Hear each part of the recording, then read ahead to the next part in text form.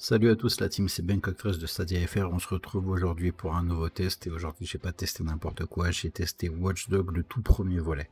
Pourquoi je l'ai testé? Tout simplement parce que Watchdog premier volet, complète édition, est fourni quand vous achetez Watchdog Légion, version Ultimate, et moi c'est ce que j'ai eu. Donc Stadia m'a envoyé les codes de Watchdog, j'ai téléchargé, enfin j'ai rentré les codes, je l'ai testé, et c'est pourquoi je suis là. Pour ceux qui n'ont pas eu les codes, le jeu est à partir de 30 euros, sans téléchargement, je le précise, et on est sur un jeu d'action-aventure en monde ouvert, urbain et contemporain. Donc, pour ça, je vais dire merci à l'agence du 6.1, on souhaite générique, et c'est parti pour le test. Allez, à tout de suite, la team.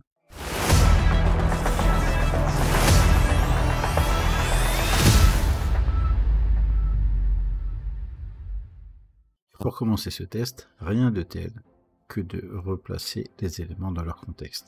Vous allez incarner un personnage principal qui n'est autre que Hayden Pierce. Hayden Pierce, qui c'est?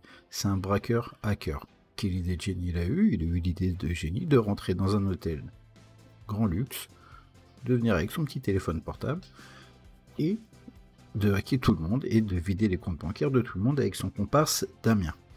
Problématique, euh, c'était pas la seule équipe à faire le coup, ou en tout cas pas forcément pour le même but. Ce qui s'est produit, c'est que Damien et Hayden ont eu leur tête qui a été mise à prix. En mettant leur tête à prix, Hayden a perdu sa nièce dans un accident de voiture. Alors que la cible de base était Hayden. Ils étaient ensemble dans le véhicule. Suite à ça, Hayden bah, n'a demandé qu'une chose, des soif de vengeance. Et c'est pourquoi vous êtes là. C'est pour venger la nièce de Hayden Pierce suite à cet assassinat, parce que ça reste un assassinat. Donc l'histoire est très bonne, la narration est excellente, elle est tellement bonne que il y a un projet de film sur Watchdog. Mais bon, on va pas s'étaler, on va passer au gameplay. Pour le gameplay, quoi dire dessus? Bah, Tout simplement que c'est un contenu qui est relativement riche, vous avez 25 heures juste pour les missions principales, et après vous avez des missions secondaires. C'est quand même déjà pas mal équilibré le gameplay est relativement complet. On peut faire pas mal de choses dans différents styles. On est très proche d'un GTA dans certains points, mais il y a quand même une petite barre qui nous rappelle que dans GTA on est très souvent un méchant, et que là pour le coup on est plus un gentil avec une barre de respectabilité. Euh, tuer des civils, ça nous fera perdre des points et ça nous fera perdre en code d'honneur. C'est une chose importante à respecter et à mettre en place et à se souvenir en permanence parce que plus vous allez en tuer et en écraser en véhicule, euh, plus ça va vous coûter cher j'ai trouvé par rapport à Watchdog Legion que c'était beaucoup plus simple de pirater, beaucoup plus simple de faire des actions simples de piratage que dans Watchdog où on avait différentes possibilités. Bref, j'ai préféré le côté piratage de celui-ci que de Watchdog Legion. Pourquoi? Parce qu'il était beaucoup plus simple. Bien que le problème c'est pas les différentes touches, hein, parce que l'avantage des jeux Ubisoft c'est que les touches sont systématiquement indiquées, ou en tout cas très souvent. Donc bon, ça, c'est quand même le côté positif de jouer à des jeux Ubisoft. Après, on est quand même sur un style un peu GTA, il y a pas mal de courses-poursuites. Et on est sur un style qui est, allé à l'orée de l'Assassin's Creed avec de l'infiltration. Et avec le GTA avec du côté bourrin. On a un mix des deux. En tout cas, moi, je suis incapable de faire une infiltration de A à Z. Dès l'instant que je suis infiltré, il faut que ça se termine en mode bourrin. Malheureusement, bon, quand on est mauvais, on est mauvais. À défaut d'avoir une tête, on peut faire parler des armes. Au niveau des armes, revenons-en, plusieurs possibilités. Pas comme dans Watch Dog Legion où un personnage va avoir une arme spécifique. Là, de toute manière, on n'a qu'un seul personnage, on n'en a pas 300 000. Mais par contre, on peut aller aux pompes, au sniper, au fusil d'assaut, à la grenade, bref.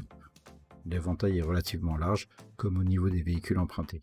Ça peut aller du camion poubelle à la moto de course, en passant par les muscle cars, j'en passe des meilleurs. Pour parler de la conduite, la conduite est quand même bien mieux dans celui-ci que dans Watch Dogs Legion. Pourquoi, je ne sais pas. Mais c'est quand même bien mieux dans celui-là. C'est quand même un point qui est important. On a évolué à Watch Dogs Legion pour se retrouver quand même avec des points qui sont plus intéressants dans Watch Dogs la première édition. Surprenant. Les graphismes, que dire de bah, Les graphismes datent de 2014 et ça se ressent. On sait que le jeu est pas tout neuf, ça se voit ne serait-ce même, on va parler d'un point, les cinématiques Je sors d'un jeu comme euh, Cyberpunk, bah là, c'est pas comparable. Bon, on ne peut pas comparer ce qui n'est pas comparable. En attendant, c'est vieillissant. Bon, mais ça reste propre. Ça reste propre en pensant que c'est un jeu à 30 euros. On va rationaliser la chose, hein, on va rester raisonnable. Le jeu date de 2014, donc il n'est pas tout neuf. Pour 2014, je tiens à rappeler qu'en 2014, il a fait péter les scores avec de nombreux records. Donc, pour le coup, le jeu est très bon. On va pas revenir sur le côté narratif, mais graphiquement, on arrive à reconnaître les véhicules, les personnages sont relativement bien modélisés, donc que demande le peuple? Le seul petit défaut que je vais trouver, c'est l'affichage des bâtiments qui met un peu de temps à se mettre en place. À mon goût. Voilà. Après, autre avantage, il y a un mode haute fluidité. Et ça, ça fait quand même la div de pouvoir jouer avec du 60 fps. Mais bon, c'est pour ceux qui aiment. Alors au niveau de la bande son, si j'ai un reproche à faire, c'est que le doublage n'ait pas été fait en français. Moi j'aime bien ne pas avoir à lire, surtout quand on est en voiture, en conduire, et je suis là, je peux pas me concentrer sur la conduite parce qu'il faut que je lise les dialogues. Ça, ça me déplaît, j'aime pas ça. Je mets pas ça dans GTA, j'aime pas ça dans celui-là. Bon, mis à part ça, j'aime bien le fait de pouvoir changer de musique au niveau des véhicules. Hein. On change d'autoradio. En plus, on retrouve quand même. Ils ont quand même acheté de belles licences, point de vue musical, dans le style qu'on aime. Hein. Mais il y en a pour tous les goûts. Et après, au niveau du jeu, je trouve qu'au niveau des cinématiques ou autres, il y a vraiment une très bonne musique d'ambiance. D'ailleurs, je comprends pourquoi on veut faire de ce jeu un film. La bande-son du jeu est magnifique, tout simplement. L'ambiance est géniale. Le doublage, par contre, pas tip top. Mais bon, on peut pas trop en demander quand même. Conclure, c'est un très bon jeu pour 30 euros, avec une bonne histoire, avec une bonne son au top, graphiquement correct, parce qu'il ne faut pas lui enlever, simple. Alors je dis simple, c'est positif et un peu négatif, hein, parce que l'IA n'est pas forcément des plus fortes. Bon, mais ça c'est un problème Ubi. Tous les jeux Ubisoft ont ce problème d'IA. Pour le reste, le jeu est intéressant. Les énigmes ne sont pas trop compliquées. Le jeu est abordable, très simplement. Je suis pas un tryharder. Et donc pour le coup, le jeu me convient parfaitement. Est-ce que je dois le recommander pour 30 euros minimum? Oui, très clairement, vous pouvez y aller et me faire confiance. De plus, contrairement à GTA, on peut avoir des réticences à le faire acheter ou l'acheter à un enfant. Très clairement, un adolescent, celui-ci, on peut lui offrir.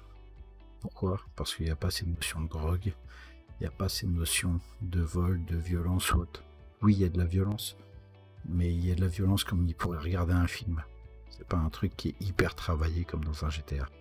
Allez, en attendant, je vous invite à vous abonner à nos différents réseaux sociaux et surtout à vous abonner à cette chaîne. En attendant, je vous dis à bientôt et on se revoit prochainement pour un prochain test. Allez, salut la team.